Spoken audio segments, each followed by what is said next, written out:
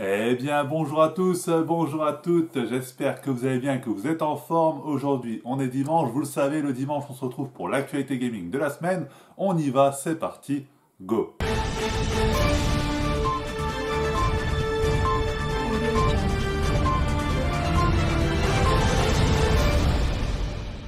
Décidément, pour 2021, on nous annonce pas mal de nouvelles console, et eh bien c'est au tour de Capcom d'officialiser eh bien la Retro Station. C'est pas vraiment une console, c'est une mini bande d'arcade. Il y aura 10 jeux inclus de la licence Street Fighter et Mega Man notamment.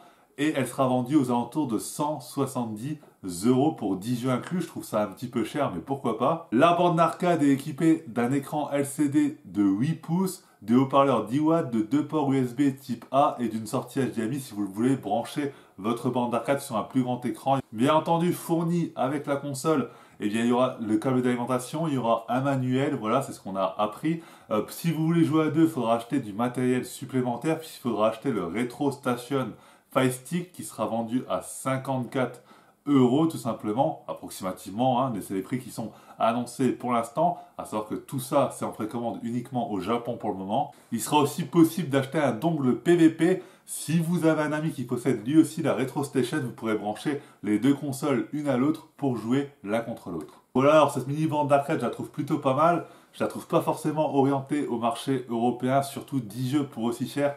Je suis pas certain, c'est clair qu'au Japon ça va cartonner parce qu'ils adorent euh, les machines d'arcade. Chez nous, je suis moins sûr, dites-moi ce que vous en pensez. En tout cas, maintenant, on bascule du côté PlayStation, puisqu'on va parler de la PlayStation 5, qui, selon Digitime, euh, cartonne et va cartonner en 2021. Effectivement, selon Digitime, Sony pense écouler entre 16,8 et 18 millions de PlayStation 5 en 2021, grâce au soutien notamment de TCMC, Taiwan Semiconductor Manufacturing Company, qui est une société fabriquant en général des semi-conducteurs, vous l'aurez compris euh, de leur nom, et qui viendra donc aider PlayStation à concevoir plus de PlayStation 5 et plus rapidement. On rappelle que selon Digitime, toujours, il y a déjà 3,4 millions de PS5 qui ont été écoulés à travers le monde, c'est quand même un chiffre qui est assez impressionnant, elle n'est pas sortie depuis longtemps, on sait qu'elle est en rupture de stock, donc ça pourrait être encore plus énorme que ça. En France, à l'heure actuelle, apparemment, selon Digitime, il y aurait déjà à peu près 107 000 exemplaires qui se seraient vendus en France, c'est déjà un beau chiffre, mais bien entendu, on attend le réapprovisionnement. Je sais que vous êtes nombreux sur la chaîne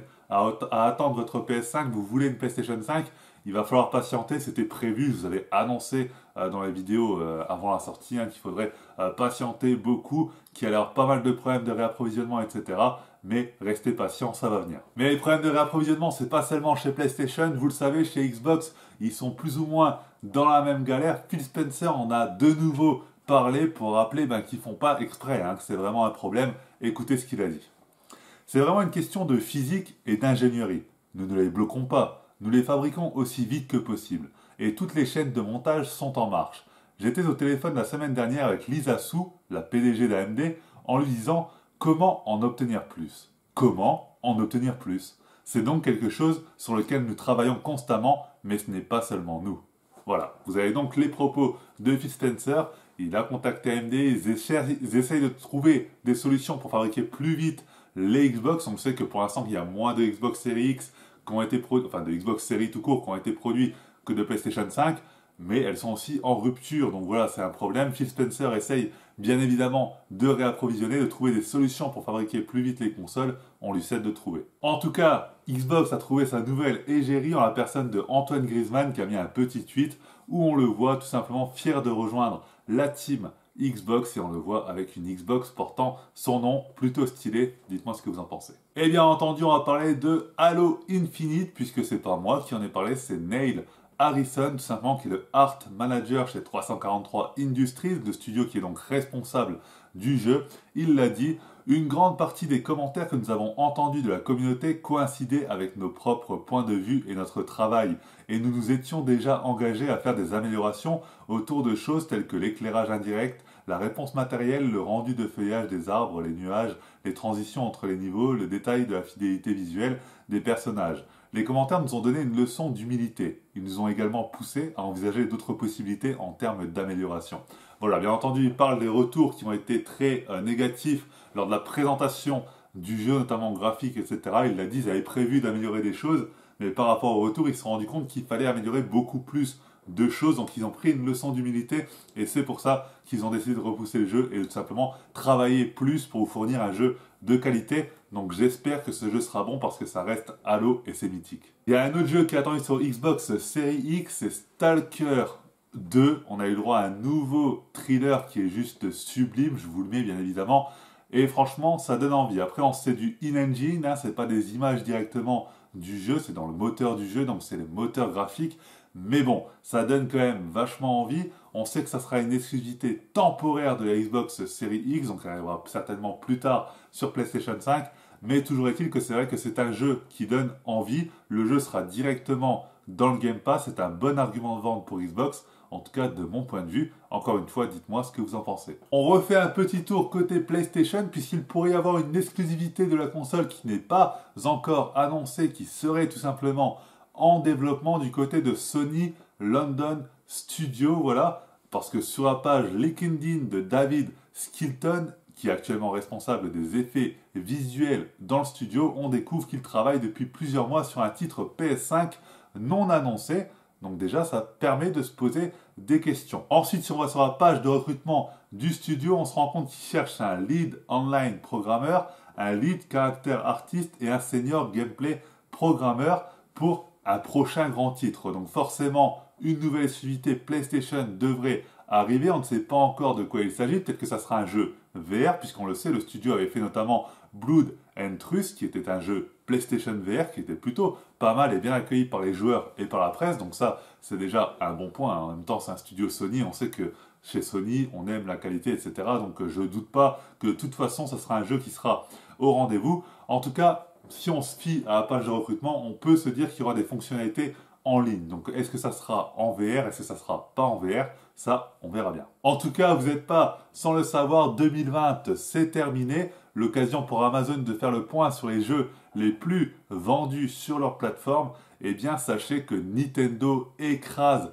ce classement tout simplement puisque sur Amazon France, le jeu le plus vendu c'est Animal Crossing New Horizon, suivi de Mario Kart 8 Deluxe accompagné de Super Mario 3D All Stars. C'est le podium de 3. Et le premier jeu qui n'est pas une version Nintendo Switch qui apparaît dans ce classement, c'est The Last of Us Partie 2 qui arrive en dixième position. Donc les 9 premières positions seront occupées par des jeux Nintendo exclusifs ou par des jeux tiers, mais dans la version Nintendo Switch. Donc c'est un grand, grand succès pour Nintendo. Sur Amazon, États-Unis, c'est plus ou moins la même chose, sauf que c'est Animal Crossing en tête. Super Mario 3D All-Star lui prend seconde place au lieu euh, de la troisième. Et en troisième place, c'est Mario Kart 8 Deluxe. Donc la deuxième et troisième place ont été inversées par rapport à nous aux États-Unis. Mais, mais, mais, il y a un jeu qui arrive plus haut dans le classement qui n'est pas un jeu Nintendo puisqu'il faut aller jusqu'à la sixième place pour accueillir Cyberpunk 2077 dans sa version PlayStation 4. Voilà, donc euh, quand même, Nintendo a frappé très très fort en 2020 et c'est bon à noter. Et en tout cas, Nintendo, ils sont très forts pour vendre, ils le confirment avec le Super Nintendo World, hein, le fameux parc d'attractions. On a appris il y a quelques temps qu'il y aurait un bracelet qui serait disponible à l'achat tout simplement dans ce parc d'attractions. Vous aurez des bracelets à l'effigie de plusieurs personnages, Mario, Luigi, Peach, Toad, etc. Eh bien, vous pourrez tout simplement vous en servir déjà dans le parc pour interagir au restaurant, pour pouvoir acheter vos machins, euh, sur certains blocs, pour déclencher certaines animations.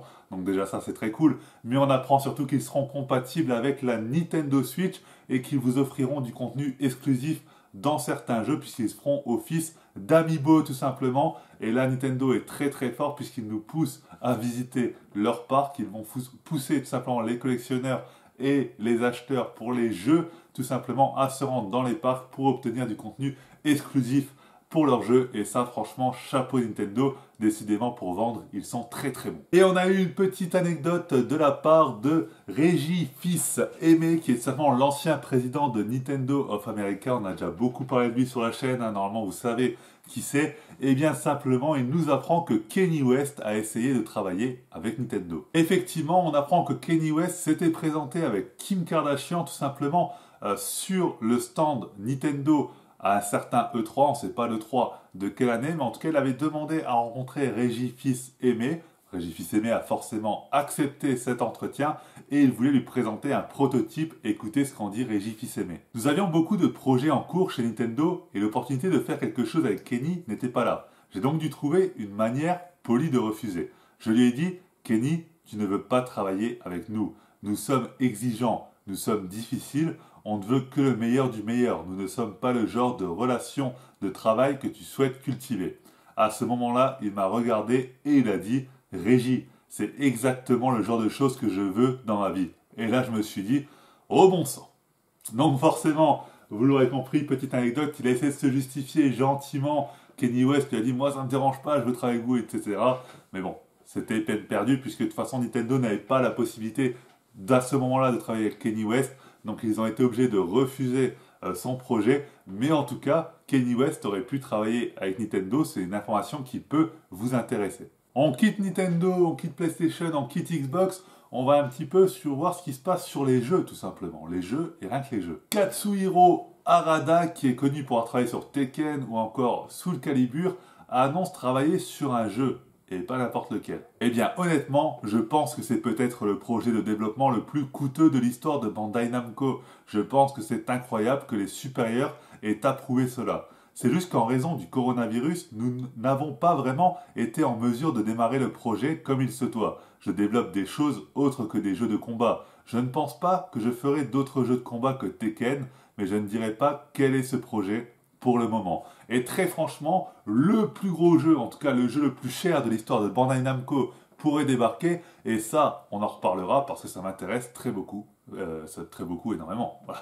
ça se dit, hein, c'est français. Devolver Digital, que vous connaissez très probablement, qui est responsable de jeux assez euh, impressionnants. Voilà, tout simplement, hein, c'est un studio ultra connu. Eh bien, a fait un petit teasing avec un tweet super original. Le voici. Il demande tout simplement lequel de 5 jeux Devolver Digital non annoncés qui sortent l'année prochaine attendez-vous le plus? Voilà, petite façon de teaser qu'il y a encore 5 jeux non annoncés du côté de Devolver Digital, en sachant qu'il y en a déjà 6 qui sont annoncés, eux. On parle de Olija, de Loop Hero, de Kart Shark, de Boomerang X, de Shadow Warrior 3 et de Weird West. Donc il y a encore 5 autres jeux à ajouter à cette liste. On attend d'en savoir plus. Vous connaissez également probablement Team Ninja qui est responsable notamment de Nioh eh bien, sachez qu'il pourrait y avoir l'annonce de plusieurs jeux en 2021. Et effectivement, c'est Fumi Iko Yasuda, l'un des cadres de Team Ninja, qui l'a confirmé. Ils l'ont dit, après 7 ans de développement, la franchise Nioh va prendre du repos et plusieurs projets entreront en développement à grande échelle. Il annonce que plusieurs titres seront annoncés en 2021. On rappelle que Fumihiko Yasuda avait notamment réalisé Ninja Gaiden 3 avant de prendre en charge Nioh et il a déclaré en février, vous vous en souvenez euh, très probablement, que créer un nouveau Ninja Gaiden était quelque chose qu'il aimerait énormément faire. Donc peut-être qu'un Ninja Gaiden pourrait être annoncé, ça serait plutôt cool. Et on se rappelle qu'on en parlait aussi il y a quelques semaines, c'est Yosuke Hayashi qui s'était exprimé chez Euro euh, c'est le président du studio, rien que ça, qui avait annoncé vouloir travailler sur une nouvelle licence pour la PlayStation 5, puisqu'ils avaient créé Nioh pour la PlayStation 4, il lui semblait logique de créer une nouvelle licence pour la PlayStation 5. Donc on garde tout ça à l'œil et on attend de voir ce que ça donne. On en avait presque oublié son existence. Daylight 2 donne des nouvelles et ça fait euh, bien plaisir. C'est sur le Discord euh, des, développeurs, tout simplement qu'un développeur a posté nous mourrons d'envie de vous informer sur la façon dont le développement se déroule. Nous aurons de nouvelles informations à vous donner sur Dying Light 2 au cours de cette nouvelle année. Donc voilà, enfin, des informations sur Dying Light 2 devraient tomber en 2021. On souhaite une sortie rapide, en tout cas si le jeu est terminé. On souhaite que tout se passe bien pour le studio parce que le jeu me hype de ouf, bordel. J'ai adoré le 1, je veux le 2. Et on ne peut décidément pas passer une semaine sans parler de Cyberpunk 2060. 17, eh bien sachez que ça a été annoncé, des DLC gratuits vont tomber très rapidement. Pour l'instant, pas grand chose, un petit message sur la page d'accueil du jeu qui nous stipule à Night City, une pluie de DLC gratuits est annoncée pour début 2021. Plus de détails prochainement. Donc forcément, on attend d'en savoir plus. Qu'est-ce qu'il va y avoir dans ce DLC De nouvelles missions, euh, de, nouvelles nouveaux équipements, moins de bugs. On attend de savoir tout ça. Et toujours sur Cyberpunk 2077, on va parler de Ander Lundbjörk.